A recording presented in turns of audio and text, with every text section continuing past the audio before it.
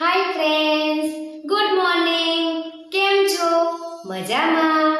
બાળકો, તમે શું કરી રહ્યા છો? રમી રહ્યા છો? તો તમને બધાને રમવાની મજા પણ આવતી જ હશે. તો બાળકો, તમે જ્યારે રમકડા રમો છો, તો ક્યારેક ક્યારેક તમારા મિત્ર સાથે તમારો ઝઘડો થાય છે ને? તો આજે હું તમને એવી જ એક વાર્તા કહેવાની છું. વાર્તાનું નામ છે, ડબલ રમકડા. ચાલો, તો આપણે વાર્તા સાંભળીએ. એક મોટું શહેર હતું. આ શહેરમાં એક પરિવાર રહેતો હતો. આ પરિવારમાં મમ્મી, પપ્પા અને તેમના બે બાળકો રહેતા હતા. મયંક અને મેરી.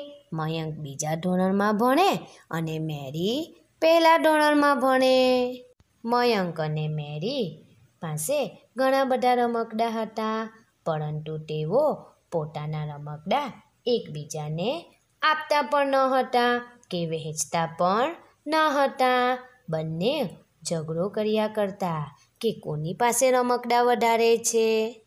મેરી કહે, મારી પાસે વધારે રમકડા છે તારા કરતાં અને ઘણા સારા પણ છે.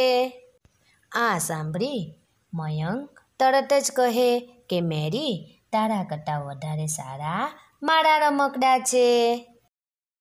હવે એક દિવસ મેરી અને મયંકના દાદા તેમના ઘરે આવ્યા અને રોકાઈ ગયા. દાદા, આ બંને બાળકો માટે ઘણા સારા રમકડા લાવ્યા હતા. મેરી અને મયંકને જોતા જ દાદાએ કહ્યું, બાળકો, હું તમારા માટે ઘણા બધા રમકડા લાવ્યો છું. મેરી અને મયંક આગળ વધ્યા અને દાદાના હાથમાંથી એક એક રમકડાની થેલી લઈ લીધી. મયંક કહેવા લાગ્યો, આ રમકડા મારા છે. તો મેરી કહે, આ રમકડા મારા છે. આ સાંભળી દાદાએ કહ્યું, બાળકો, આ બધા જ રમકડા હું તમારા માટે લાવ્યો છું. તો તમે આ રમકડાના ભાગ પાડવાની શું જરૂર છે? ત્યારે મેરી અને મયંકે કહ્યું દાદાજી, અમે અમારા રમકડા ક્યારે ન વહેંચીએ આ સાંભળી દાદાને ખૂબ જ ચિંતા થઈ, પરંતુ દાદાએ મેરી અને મયંકને કંઈ જ ન કહ્યું. બીજા દિવસે હંમેશની જેમ આ બંને બાળકો ઝઘડી રહ્યા હતા. મયંક કહે, મેરી, તારા કરતાં મારી પાસે વધારે રમકડા છે. તો મેરી કહે ના, તારા કરતાં તો મારી પાસે વધારે રમકડા છે. આ વખતે પણ દાદા ત્યાં જ હતા. આ સાંભળી દાદાએ વિચાર્યું કે એવું હું કરું કે બાળકો પોતાની જાતે જ સમજી જાય. થોડા દિવસ આવું થયા જ કર્યું. દાદાએ બંનેને એક પણ શબ્દ ન કહ્યો. છેવટે થોડા દિવસ પછી દાદાએ વિચાર્યું કે આ બંને છોકરા આવી રીતે સમજશે નહીં. મારે તેમને એકતાનો પાઠ શીખવવો જ પડશે. આમ વિચારી દાદા મેરી અને મયંકના રૂમમાં ગયા. આ વખતે પણ મેરી અને મયંક જગડી જ રહ્યા હતા.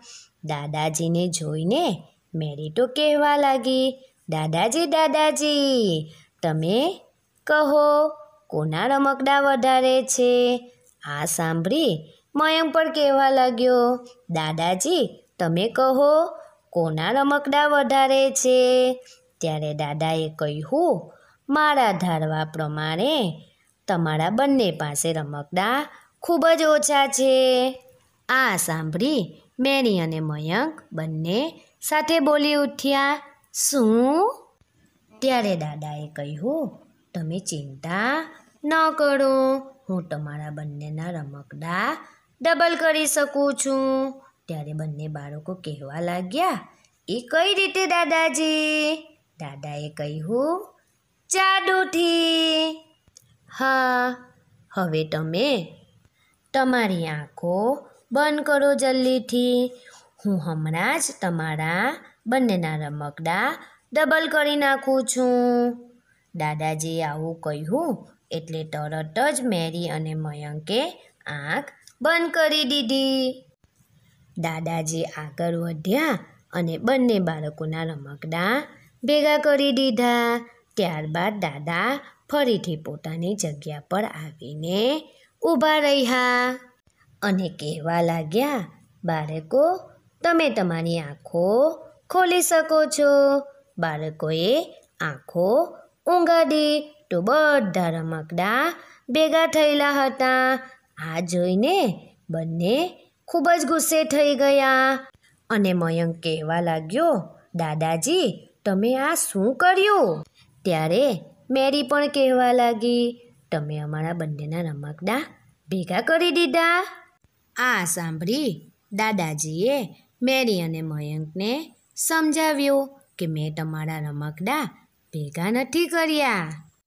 પરંતુ તમારા રમકડા ડબલ કરી નાખ્યા છે. બાળકો, એકતામાં ખૂબ જ શક્તિ હોય છે. જો આપણે એકબીજા સાથે રહીએ, તો રમકડાની જેમ આપણી તાકાત પણ ડબલ થઈ જશે. એટલે આપણે ઝઘડવું ન જોઈએ અને હંમેશા એકબીજાની સાથે રમવું જોઈએ.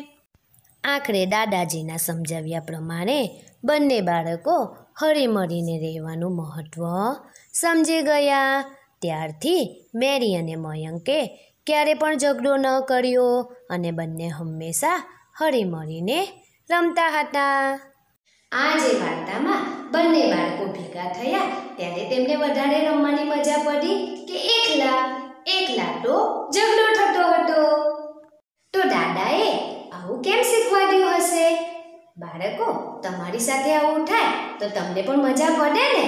તો ઝઘડવામાં વધારે મજા છે કે ભેગા રમવામાં વધારે મજા છે? વિચારો જોઈએ.